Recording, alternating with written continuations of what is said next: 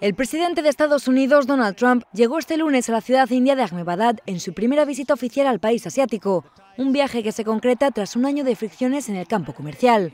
Trump y la primera dama Melania fueron recibidos por el primer ministro indio Narendra Modi ante una multitudinaria congregación de personas. Cerca de 100.000 indios se concentraron en las calles y dentro del estadio de Motera para saludar la llegada de Trump. Durante el acto denominado Namaste Trump, el presidente estadounidense aseguró que su país venderá más de 3.000 millones de dólares en helicópteros y equipamiento para las Fuerzas Armadas indias. Por su parte, Modi resaltó los lazos entre ambos países y afirmó que la India y Estados Unidos mantienen una relación muy cercana. Tras su intervención junto a Modi en el estadio, Trump viajó a la ciudad de Agra para visitar el icónico mausoleo Taj Mahal, antes de ir a Nueva Delhi, donde el martes centrará su agenda de trabajo en los asuntos comerciales.